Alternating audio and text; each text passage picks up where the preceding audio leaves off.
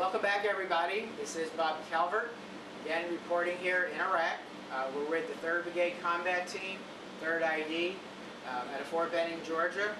And we're talking with uh, Staff Sergeant Natalie Hedrick. Uh, she is a Public Affairs Officer. She's the NCOIC here. Behind the camera is Anna Sophie Hickson.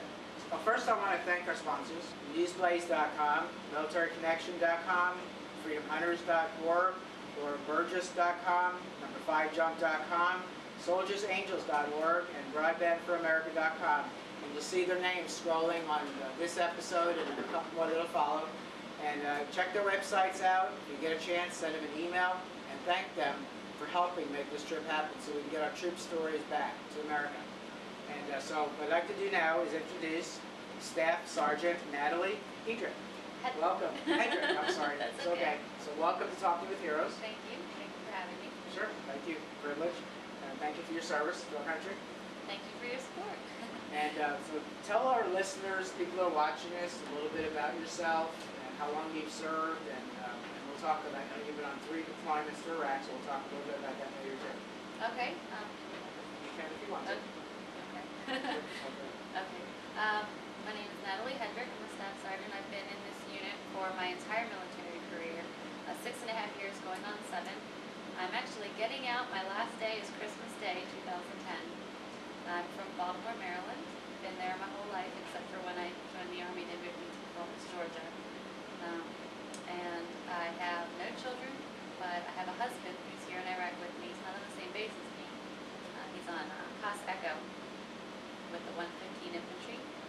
And um, my parents are anxious, anxiously awaiting my arrival. They, this is their third time welcoming me home, so So will you be going back pretty much the same time or with you your husband?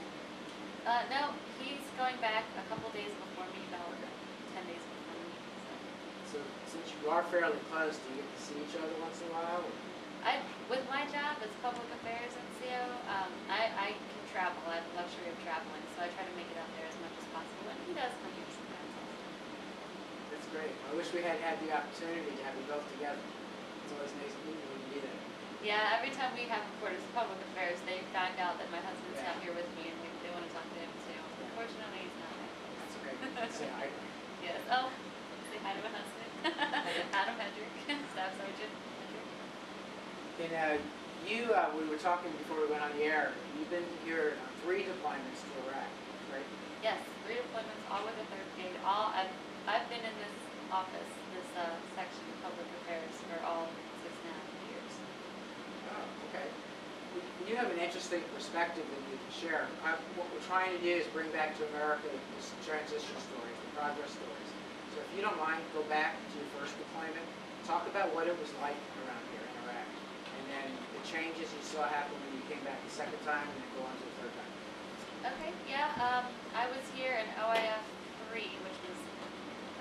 2005, and it was a lot different. Um, my job was a lot different too, as far as oh, we didn't cover the stories. We had a lot more media come out to see the soldiers. I guess because Iraq was the big thing right now, and so we don't have as many reporters.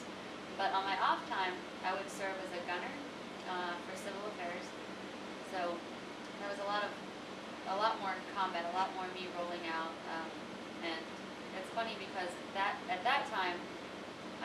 With IEDs during that deployment, um, a lot more than I have now.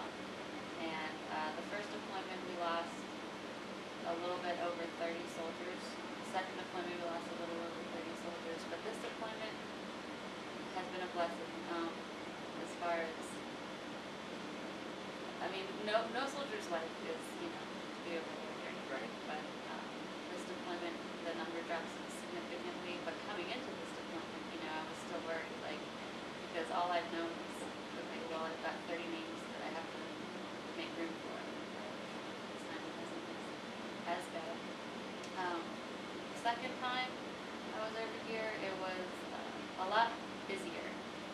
Um, we were part of the surge, so we had that extra three months to, to do what we do. And it was like the, it was like the enemy got a little smarter than my first deployment there was a lot more to do. Time flew by a lot faster because we were busier. Uh, the mission was still to go out. We were still at that danger. Um, we were still not so much in the lead as we were in OAF-3, but we were still, uh, we still went out without the Iraqis sometimes. We still went on combat missions. We still did cordon searches.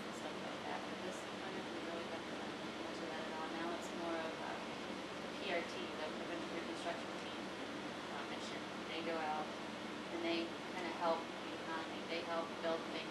They they give the Iraqis the tools that they need to succeed far beyond what we give. Can you talk about any specific projects? There's been a bunch, and really, uh, OIF three, the first one, there was projects then too. A lot of it's schools. Um, we we build schools, we uh, refinish schools, we provide them with school supplies, and we uh, desks. Um, there's a lot of things that we we do for like farmers, like uh, give them equipment. We uh, help them with um, things that work in the United States that they not, might not be aware of. Last deployment, we did a lot of windmills, which is something that the area that we were in, they didn't have any windmills. So when we showed them what it does, how it can uh, conduct energy and stuff, they really enjoyed that. We do micro grant type stuff uh, where we give them money to start their own business. We do that uh, with the lawyers around here too. So have you seen less violence on this deployment? It sounds like you have, and especially around the communities.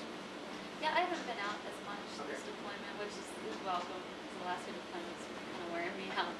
But um, yeah, I've seen I've seen less violence here. Like I said before, on average we would lose 30 soldiers each deployment. So this one is a lot better. So what do you do as a public affairs officer on this deployment? well, on this deployment, uh, right now, I since I'm in COIC, I kind of stepped back away from my public affairs role, Okay. and I just take care of my section. Um, I have to make sure that they're up to date on all their paperwork, on their PT tests, on their records qualification, make sure that they have everything that they need to conduct the public affairs mission. And I also help out where I can as far as that goes. I don't want uh, my soldiers to get too overwhelmed with their, their work. Right now, I'm working on the yearbook. So uh, we had one writer that went home. So right now, I'm kind of the writer editor of this yearbook and uh, gathering pictures for that. And it's kind of helping the time fly by because I know I have about two months left or a month and a half left. But I have this project that I have to do. So some days I wish that time would just slow down a little bit so that I could get this project done. So the yearbook is, is uh, writings from different soldiers and pictures? Well, I've changed it up a little bit. The previous years, we've had a lot of writing as far as the history of each unit, what they did that deployment, but I kind of made it my own. Uh, we do this magazine called the Hammer Times, and we did that monthly. So what I did for the yearbook was I just took the Hammer Times layout and I changed it up so that it's not necessarily the stories that we're writing, but it's pictures so that people can go back and remember a certain event. And we also included some quotes from soldiers just about the deployment. So it's kind of a personal touch instead of a, a formal news. Would it be fair to say then that on this deployment, you've seen a lot of progress? Uh, We're hearing, we're hearing a lot more now about the transition.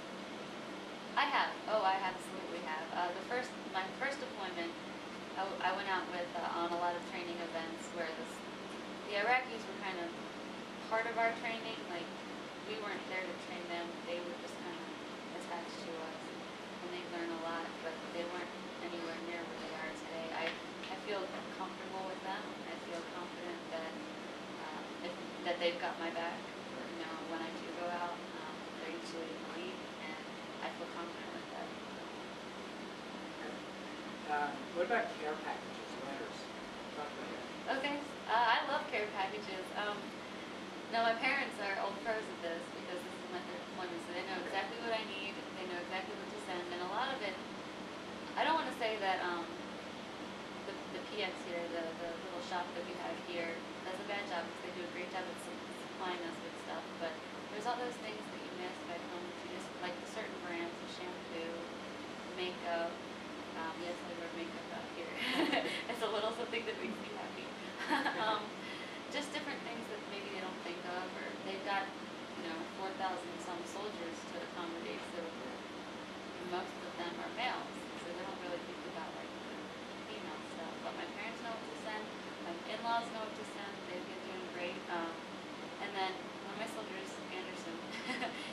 this, um, what, what organization is it? Is it okay if I say that? Yeah, please do. Soldier.com.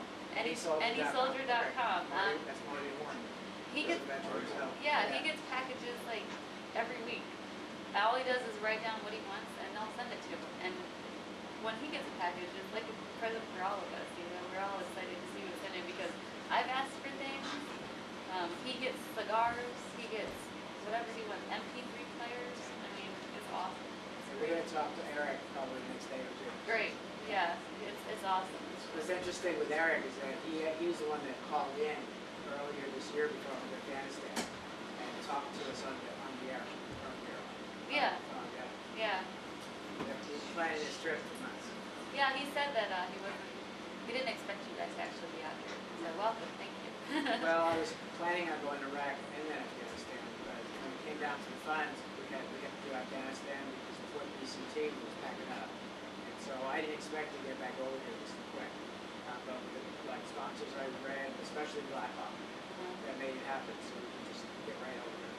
Yeah, well, like I said before, we had a lot of media comment, and I have three and I have five, but this deployment doesn't work. I mean, welcome. Like, we're so happy to see you. we actually get to do that part of our job too. Help you. Well, I may see you at Fort Benning too. A lot of you. I heard you're, are working- yeah, We're working on some things.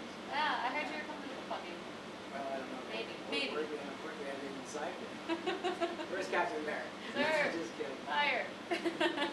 Um, Okay, um, so care packages are good, you get letters, schools, um, churches back home. yeah, we, we, in the care packages, we get a lot of like the school kids writing, writing letters. One, uh, school, I think it was, sent a box of blank Father's Day cards to send out to all the soldiers here, which was kind of cool.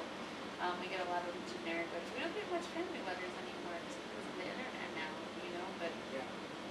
but I mean, I get my cards in the care packages, so it's something to keep, hold, show. It's a problem, you hear the post office talking about a lot.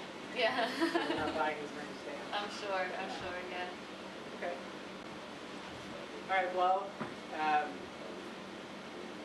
let's go ahead and take a break, and, uh, we're gonna go ahead and go into a second segment, because we're getting all this on YouTube, all right? Okay, Okay, yeah. we'll be right back. Once again, folks, it's Bob Calvert, your host, talkingwithheroes.com.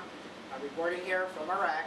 We'll be back with part two um, with Staff Sergeant Natalie Yes.